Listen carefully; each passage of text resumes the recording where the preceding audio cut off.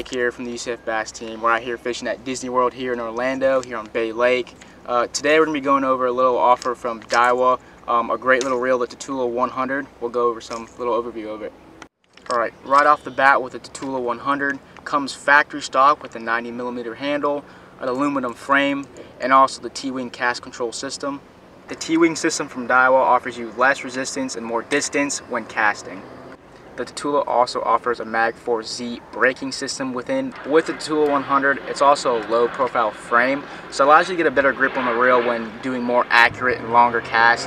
Also less fatigue on your hands throughout the day when you're fishing as well. The Tatula 100 is a very versatile reel as well and can be used for many different applications. If you want to get your hands on one of these, contact your local Daiwa dealer.